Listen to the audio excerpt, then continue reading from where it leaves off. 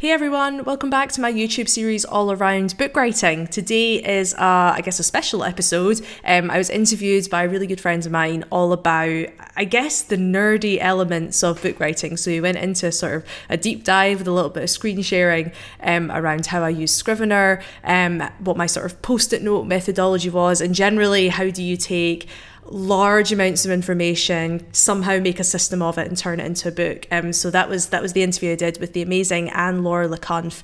She um, she does a million different things. She is a neuroscience researcher and master student at King's College London. She's founder of Ness Labs, which is a company that kind of creates products all around, uh, I guess, mindful productivity. She's got a huge community of people that are all about trying to learn how to learn and learn how to be more productive. She's got an amazing newsletter called Maker Mind, which I think is has got over 10,000 people subscribed to it now. So a lot of people really keen to hear her ideas around how do you kind of mindfully uh, do more uh, and do it in a way that kind of isn't so cynical and maybe a bit healthier for us all. Um, so she was the perfect person to speak to about it because she, like me, is super nerdy about uh, systems of learning and kind of what are the, the different tools that we use in order to kind of get things into our head and get things out of our head in productive ways. So um, and the interview is actually going to be used in a course that she's creating at the moment, um, all around exactly that. Which um, I don't think is live at the moment, but once it is, I will put the link below um, once she sends it to me. And uh, if it's something you guys are interested in, you can go and see all the other interviews that she has done. Um, but for now, enjoy the interview and don't forget chuck your your comments in the uh, your questions in the comments below, and uh, and let me know if there's anything uh, else you want me to cover on this channel. Thanks very much. Thank you for having me. I'm like so nerdy about book writing process, so I'm just like quite excited to get to to talk about it with someone who actually like cares about this stuff. Amazing. So, just to give people a little bit of an overview before we go into the nitty gritty of your process, can you give people an overview of what it was like to write a book? It was your first one too, so I assume there was a lot of trial and error. So, can you tell us a little bit more? Yeah, definitely. Um, before I wrote the book, I was, uh, or I am a freelance writer. So I'd already done a little bit of, you know, having to go research a topic, interview some people, try and work out what the story is that I'm wanting to tell and then pull it all together. But normally my articles are, you know, between 800 words and 2000 words. And, you know, I have this sort of brain, I can kind of hold quite a lot of stuff in my head, not so much remember it, but I can hold a system in my head um, a lot. So when I'm doing articles, I don't tend to need really thorough processes, um, shall we say. But I knew from the beginning that you know that that was not going to work for for a well, what turned out to be over a hundred thousand word book. Um, so basically, I, I suppose I started from the perspective of research. I'd written a proposal um, which got sent, and you know we sold the book off the proposal, and that was a sort of sample chapter. But that was essentially just write like writing a long read. So I didn't really treat it like the book. It wasn't until I got the deal um, and then I was like, okay, research time. So I did about 60 interviews in the end, um, anything from about an hour up to two hours roughly, um, with different individuals, experts. So I would, you know, record all of those, um, take notes. Uh, sometimes I did the transcribing, sometimes other people did. I found it really useful to listen back and make notes myself because I could also hear my own thinking.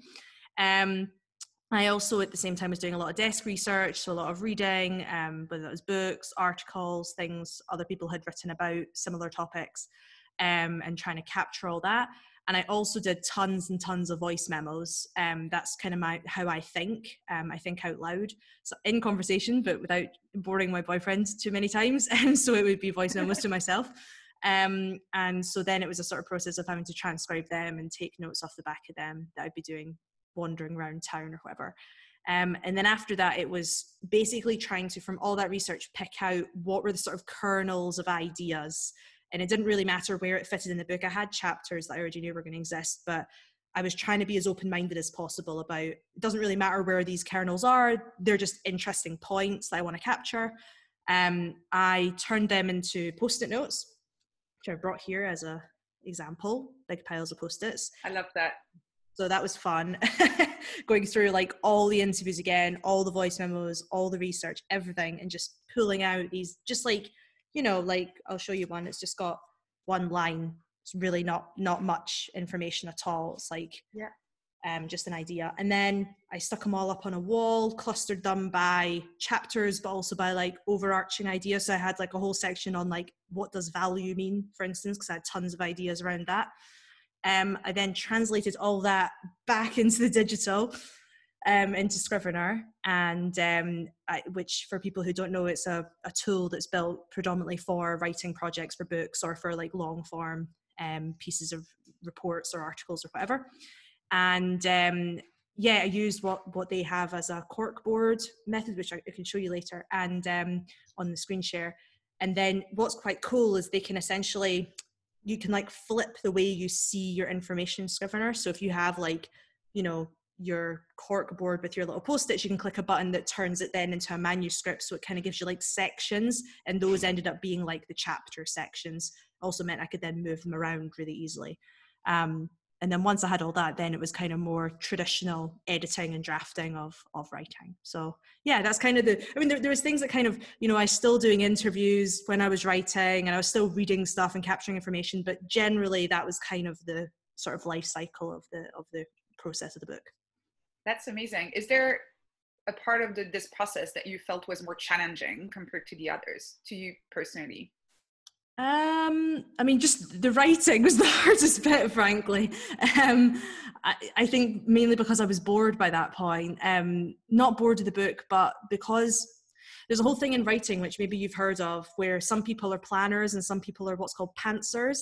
And I am a planner, so it means that I, I pants kind of think as they write and, and build the story as they go, which tends to obviously work for fiction a little bit more than non-fiction when you have to do a lot of research.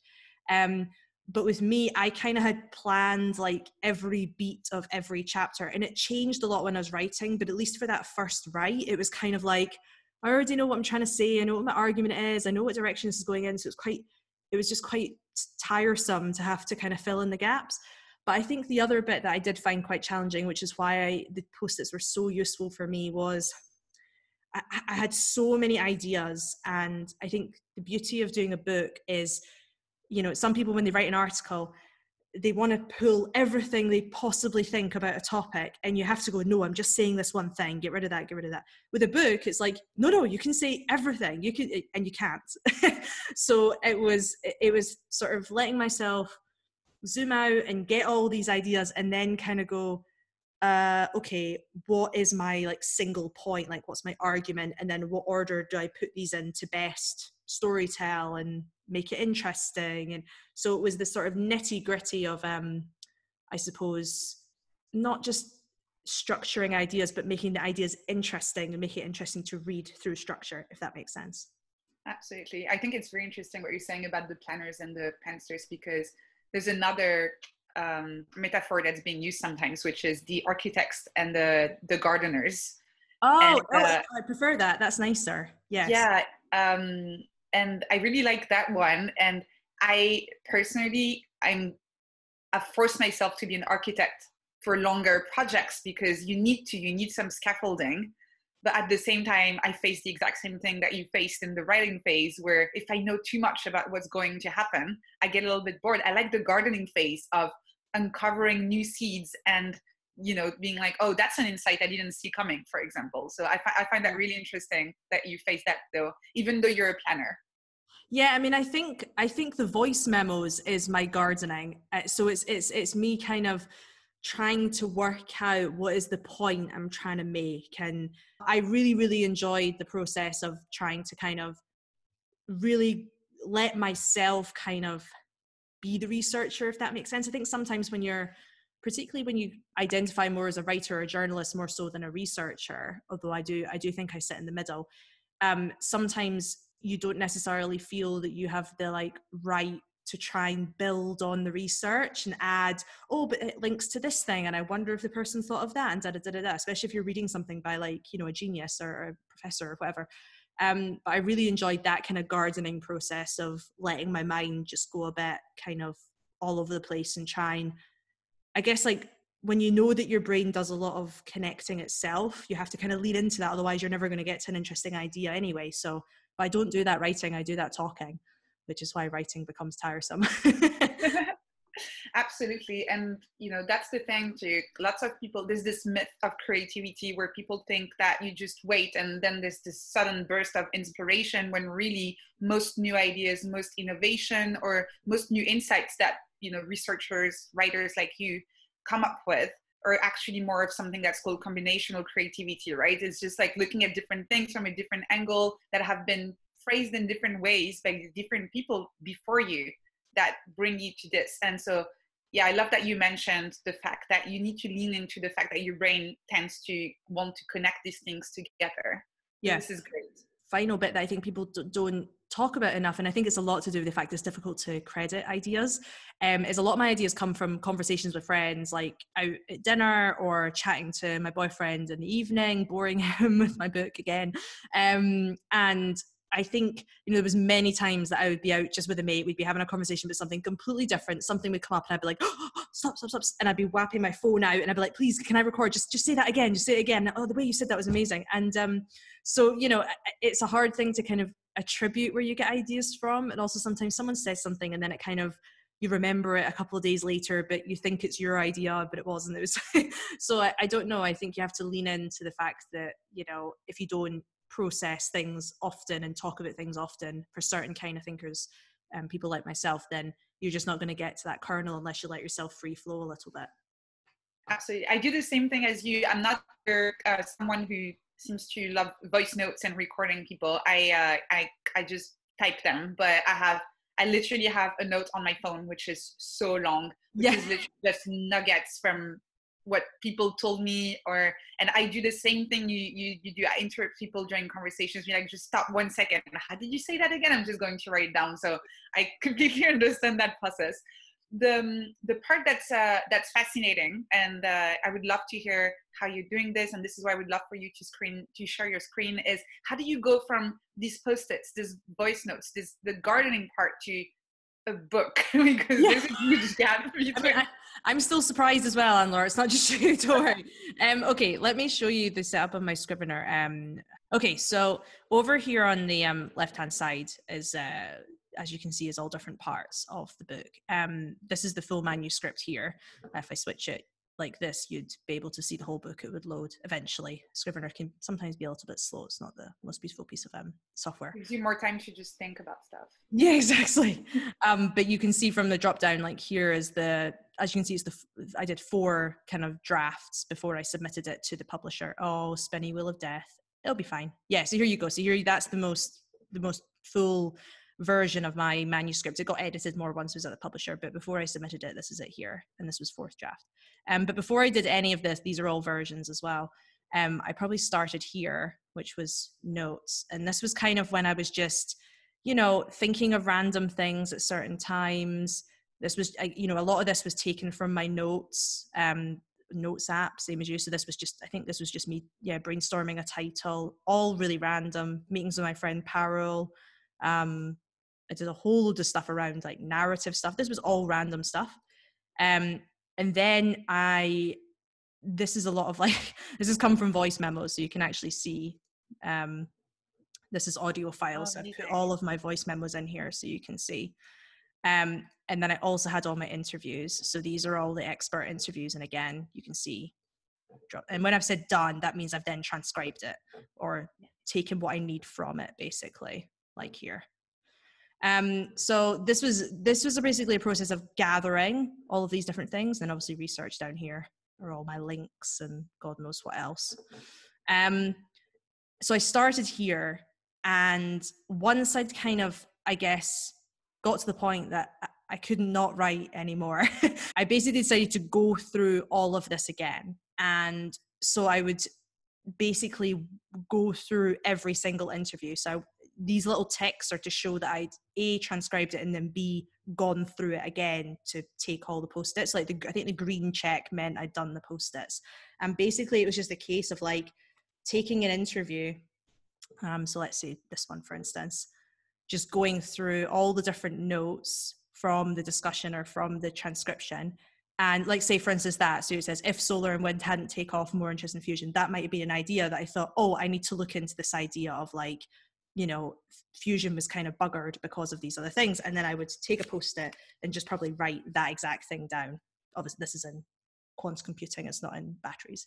So going through individually all of these documents and basically collecting the little kernels and that's why i have so many of them basically because that was you know that took that took a really long time that took a couple of weeks um so that took a really long time and then once i'd basically gone through these three bits here and this one. I was like okay i need to like transpose all my post-its back into scrivener so that i can then move them around digitally because i'd already done like a you know sticking these up on the wall and being clustering everything into chapters and all that sort of thing. There you can see that was me on the final edit. I was like yeah this bit just doesn't work. Randomly posting anywhere. Okay so here's my post-it. So as you can see i've i've clustered them by chapter here these are my nine chapters of the book. And then i also had a whole section just on hype because obviously the book is on hype and so there was a lot of like post-its that didn't really have anything specific to do with you know a chapter but more like the high level ideas of hype. Um, and then some of the more kind of broader ideas that i thought would be nice in the intro and broader ideas for the outro. And so if you take a chapter here um, what i've basically done is clustered all of the post-its into one post-it so this is one post-it and everything in here every line is a is a single post-it. So I have a post-it that says those exact words somewhere in this pile. I don't know where. Amazing. Yeah. Um, and so you can see that what I basically did was to try and group all of my post-its. So all the post-its I had that had anything to do with GMOs went in here, hunger, food cultures, farming. And this changed, you know, as I was like transcribing the post-its back into here. I, you know, I thought, oh, I'm going to have loads on cows or something. And then I'd realize I only had like three notes in that. So I'd be like, well, maybe actually that's to do with, you know, how farming works, for instance, or, or insects as protein possibly. So eventually over time, I would I would just do one chapter at a time because I want to try and keep everything in my head at once.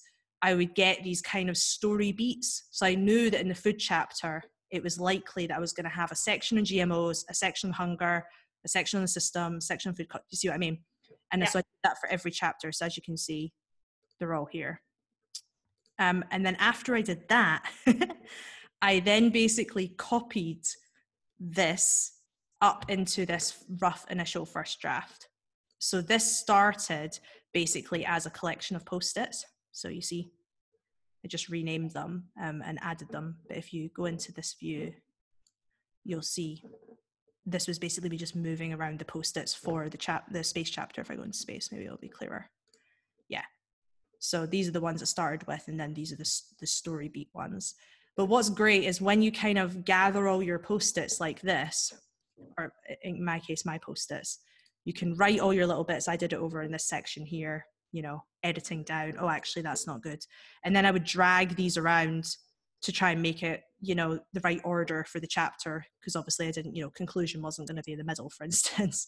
Um, and then what's great is you can just click this button up here and it basically you see these lines these are between each post-it so it like translates all of your little notes into bits and so what it looked like is I, I would see how there's loads of just like bullet points and stuff so what i would then do is i went back and tried to fill in with actual writing and you can see that in the sort of second first proper draft where's space um, here you'll see it's exactly the same as up here but instead of it just being bullet points, you have like actual writing. And in red is basically what I added in between. So a little bit pernickety probably to a lot of people, but it was like the, what I was so stressed about was I was stressed that I was going to lose ideas as I started to try and um, put it all together. I was really worried that I'd have these, you know, I'd be talking to someone and they'd say something like, I don't know, satellite law and I was so worried that I'd lose. Oh, I need to, I need to look into satellite law, and I need to make sure I like hit that beat at some point.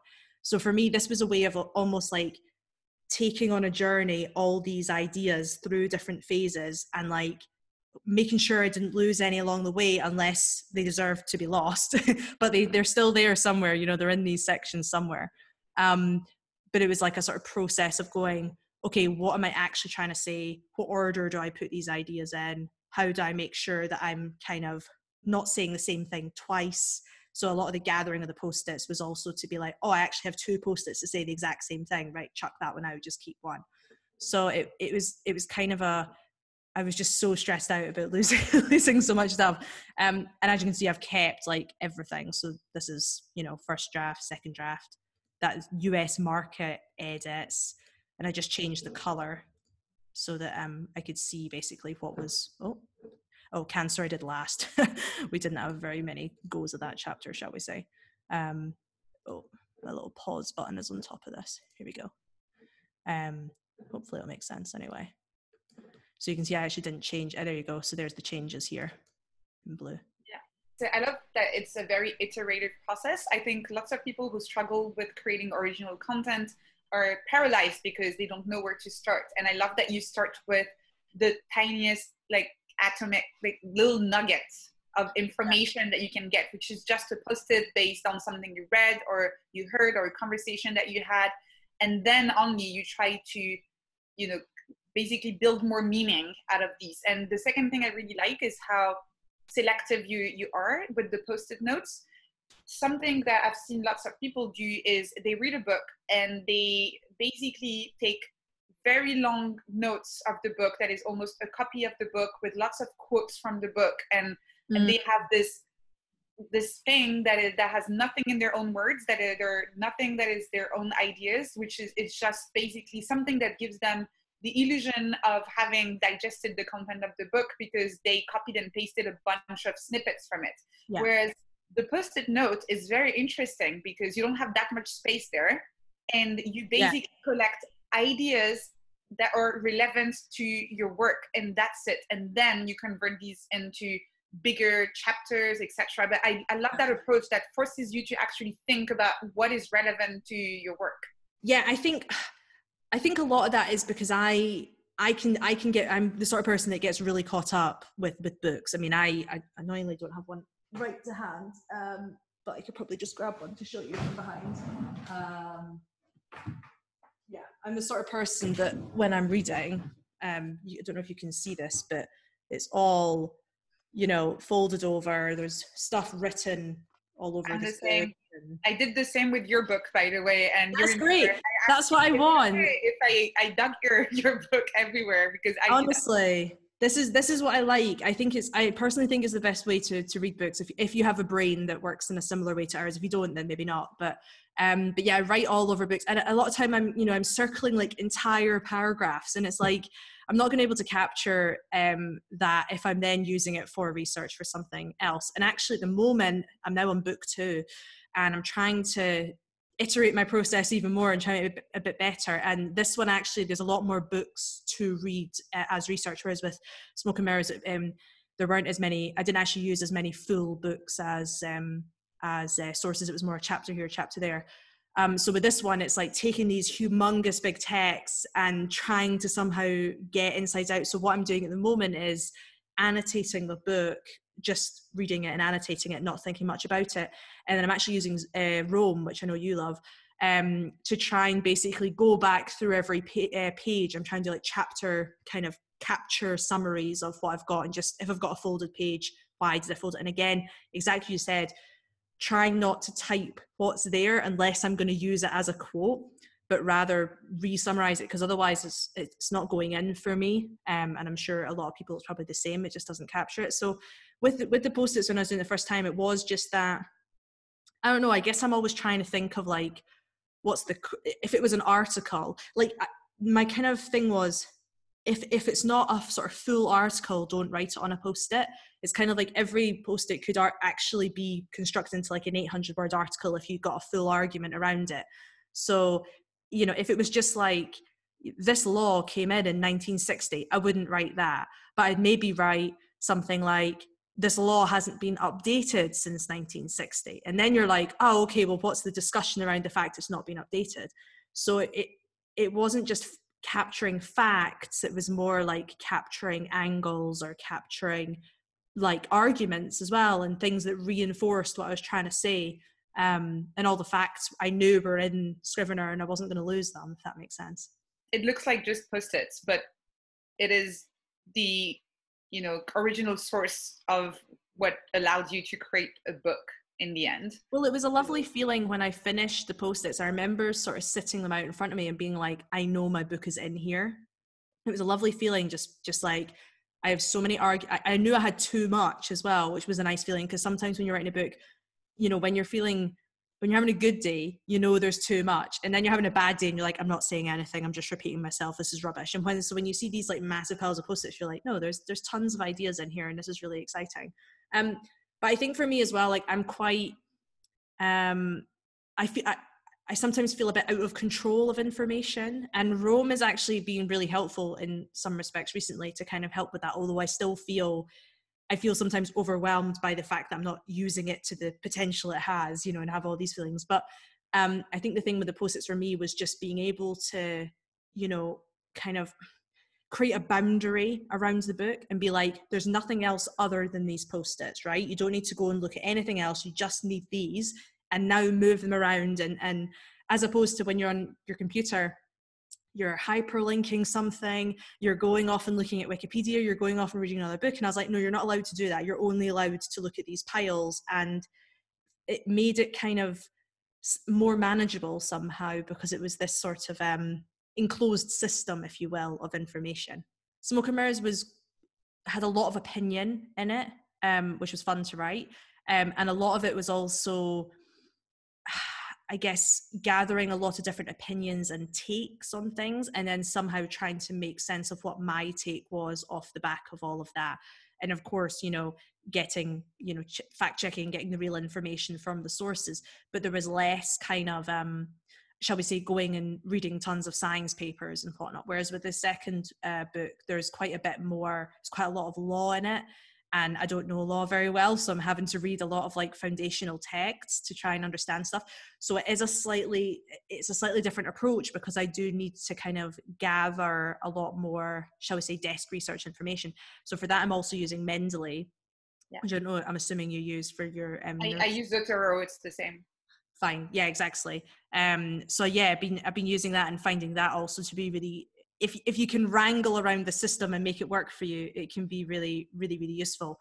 But it's always that way of like i don't know i like to contain information in places but at the same time if you can't transfer it very easily it gets a little bit and i, I definitely find myself you know you mentioned it um, before we, we started recording but like how people can get a little bit in the weeds trying to work out what system to use as opposed to just doing the thing and i'm so so guilty for that um, because there's always a better way but it's more just about you know making sure for your own head you can kind of keep track of stuff and that's something i've been wrestling a little bit because it is a sort of different research challenge this time than than previously. Yeah absolutely. Well this is amazing. I'm totally going to steal some of your ideas. I uh please. I do Amazing. Well, thank you so much for sharing your process with us today. No that was so interesting. And I, you know, I just, I love that you have both the experience of writing shorter articles as a, a journalist and a freelance writer and a book. And good luck with the second one. Looks like it's going to be a lot of work, but I can't wait to read it yeah no it's uh, there's a there's a, a, a, lot well not a lot more to be done but a very different kind of research challenge. But actually one i think i'm enjoying a bit more than doing tons and tons of interviews. It's quite nice to just sit with texts and see what happens. So awesome. Thank you so much. Thank you